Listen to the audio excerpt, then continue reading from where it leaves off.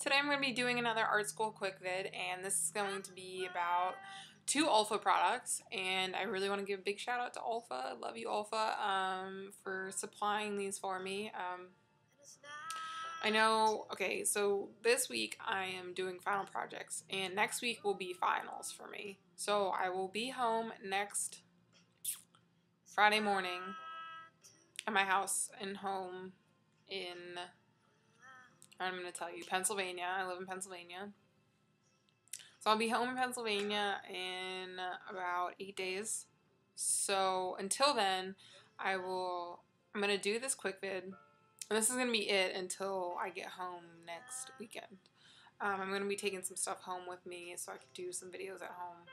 So I'll have about a week or so to be doing stuff, so that'll be nice. Um, I'll get some stuff up. But Olfa, if you guys don't know, Olfa, Olfa, Olfa, see that logo? Right there. Um, they mostly have like rotary cutters and like stuff for like quilting or, I mean, just like craft knives, like stuff like that. I mean, stuff that you wouldn't normally think would, I guess, be for art supplies, but I turn to them for like everything. Um, they sent me a lot more stuff that I'm going to show you. So for Olfa, I'm going to tell you right now, I'm going to be doing a two-part reveal of everything I, that I received.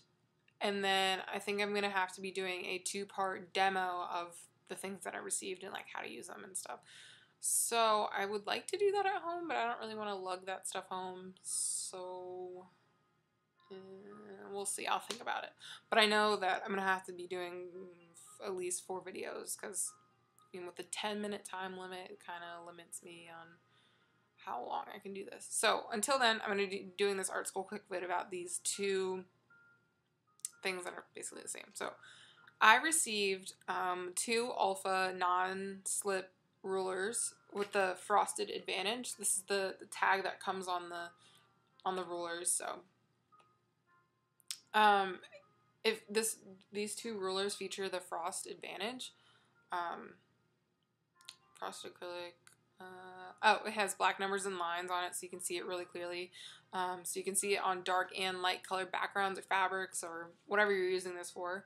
Um, yeah, easy to grid lines. That's what I love about these. Um, one inch grids with half an inch, quarter, and eighth, one eighth inch increments for so you can have precise measurements no matter how little or how much you're wanting to do.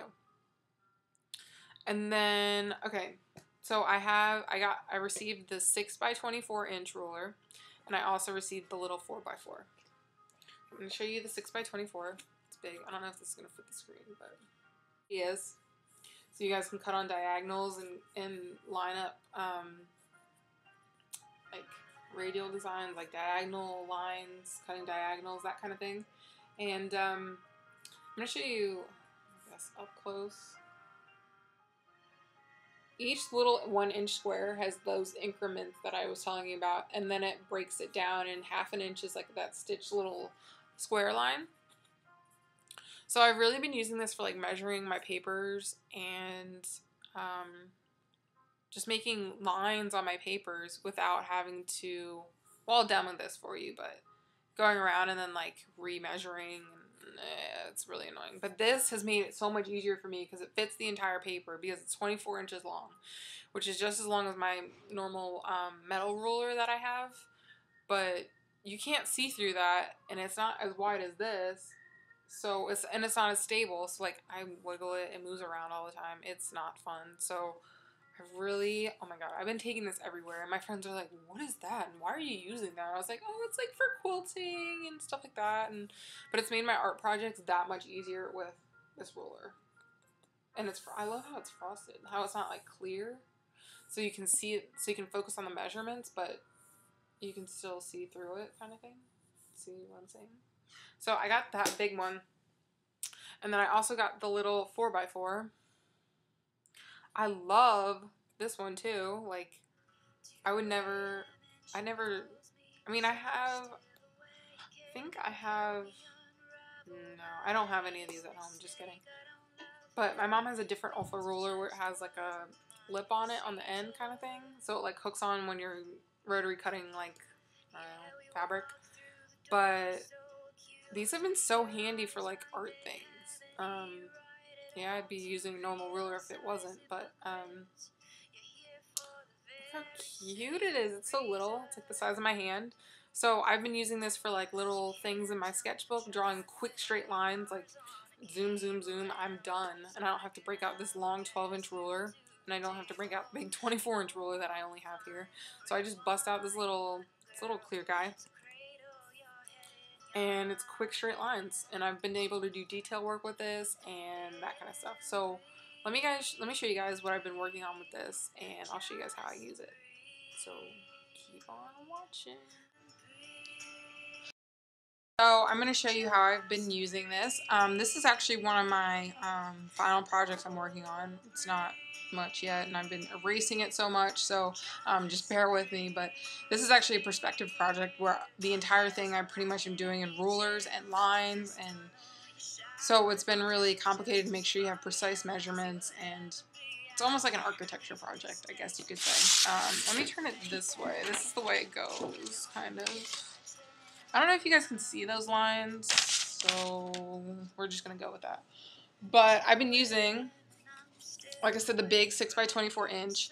And literally, I, okay, I have a point of, uh, I have my vanishing point, which is the point where all your lines vanish to. And I've been able to keep the one end, you guys aren't seeing this,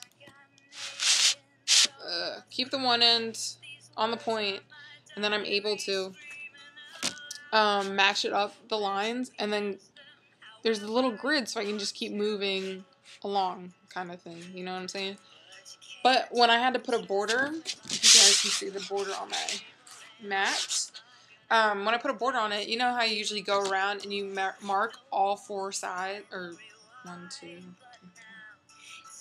you mark all eight like points on each like you mark one point here sorry. This is being really bad.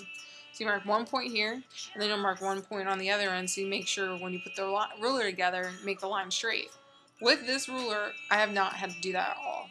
I just line up the one point and make sure the bottom edge on the ruler is flush with this edge. And then I line up the other end and it matches perfectly and then I just draw a straight line. It saved me so much time with this ruler. Like it's so simple, but it's been a lifesaver and quick. I'm loving that. So you guys should check these out. They're not that expensive and they'll last you forever. Hard, durable plastic, which I really enjoy. Um, and they're wide enough, so they're really usable. Here's a close-up. Yeah, this is a better shot. So that's like the radial pattern in it. So see like the little, if, I don't, hmm. I have like windows and doors in here. This is a building I'm doing obviously. So I used my little 4x4 and quick quick little lines, quick little lines, quick little lines everywhere. And it's saved so much time than using trying to measure with that huge large ruler.